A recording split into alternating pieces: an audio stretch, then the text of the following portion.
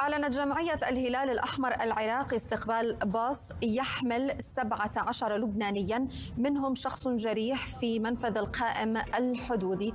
مضيفا أن فرق الهلال استقبلت النازحين وقدمت لهم الخدمات الغذائية والإسعافات الأولية.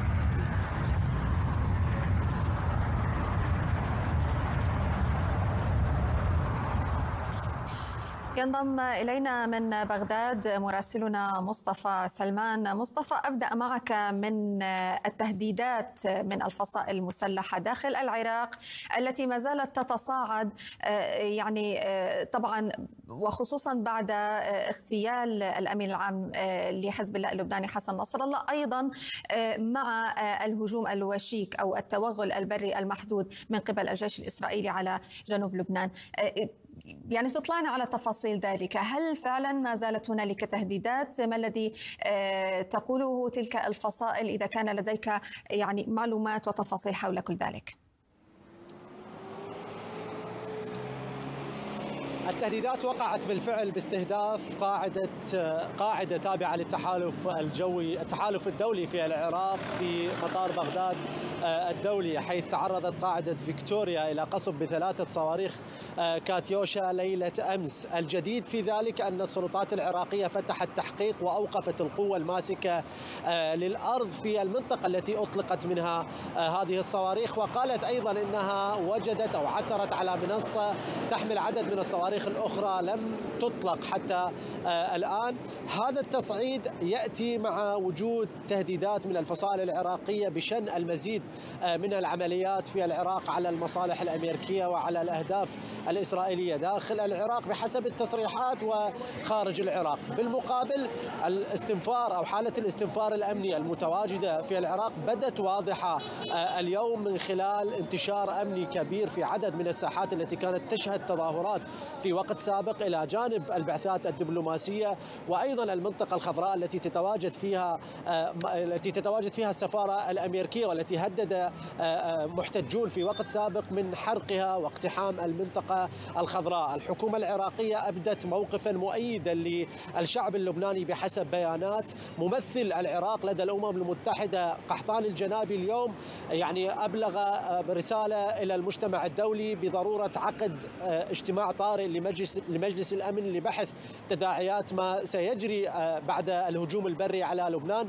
إضافة إلى ذلك فإن وزير الخارجية العراقي فؤاد حسين اليوم قال في تصريحات صحفية أن ما يجري في لبنان سيتوسع وأن الحرب الجارية في لبنان ستنتشر إلى مناطق أخرى وعلى المجتمع الدولي التوجه أو التدخل الآن لوقف هذه الحرب ونزع فتيل الأزمة. هناك بالتأكيد ترقب وتخوف من تصعيد في العراق. من قبل الفصائل العراقية لكن بالمقابل اليوم كانت هناك تصريحات من الحكومة العراقية ومن وزير الداخلية تحديدا بأن كل من يحاول المساس بأمن البلد ويستهدف البعثات الدبلوماسية سيحاسب بشكل كبير جدا. الإجراء الذي اتخذ بحق ضابط أمني في العراق تحديدا في القوى الماسكة التي للأرض التي استهدف استهدفت منها منصة للصواريخ قاعدة فيكتوريا الجوية قاعدة فيكتوريا التابعة للتحالف الدولي قيد التوقيف مع عدد من عناصر الأمن وسيتم نشر تفصيل بذلك ومن هي الجهة التي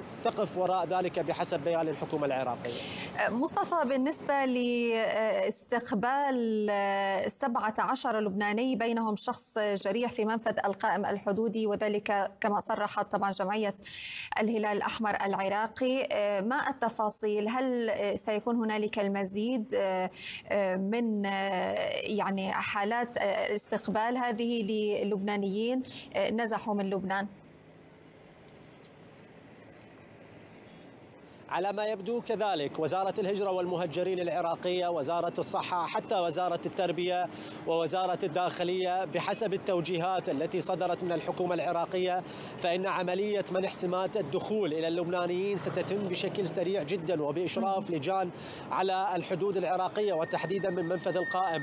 الذين وصلوا إلى العراق واستلمهم استلمتهم جمعية الهلال الأحمر العراقي هم 17 شخص لكن هناك قوافل قد وصلت إلى العراق في وقت سابق.